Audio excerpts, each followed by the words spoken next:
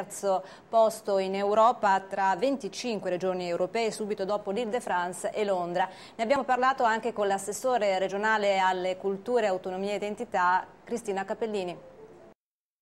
Assessore cultura e creatività per generare lavoro e per uscire anche dalla crisi, questo è il cuore di questo incontro di oggi. Sì, questo è un evento molto importante a cui teniamo molto come Regione Lombardia, l'ha detto anche prima il Presidente Maroni intervenendo per il saluto iniziale, proprio perché guarda al futuro, guarda al futuro dei nostri territori, dei nostri giovani, delle nostre eccellenze e quindi mettendo a sistema delle idee innovative può essere una buona leva economica per i nostri territori in un momento di difficoltà come quello attuale. Penso che questi appuntamenti siano importanti perché non sono un punto di arrivo ma un punto di partenza. Oggi ci sarà una selezione molto importante quindi i progetti che verranno scelti poi avranno possibilità di farsi conoscere anche al di fuori di queste quattro mura della regione Lombardia. Vedo comunque che c'è una grande partecipazione di pubblico e questo mi sembra positivo perché denota un interesse per, per queste iniziative, per questo convegno. Nel programma di, con cui abbiamo vinto delle elezioni e l'ha ribadito appunto come dicevo prima il Presidente, un occhio ai giovani è sempre stato diciamo,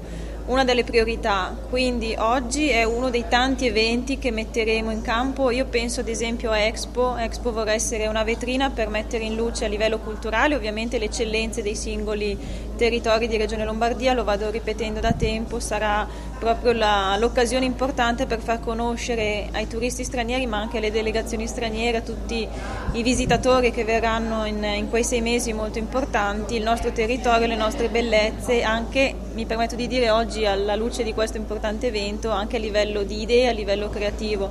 Quindi anche in vista di questo grande appuntamento cercheremo di favorire quelle che sono le, le strutture e le condizioni per mettere i giovani, i giovani talenti soprattutto nelle condizioni per poter lavorare meglio.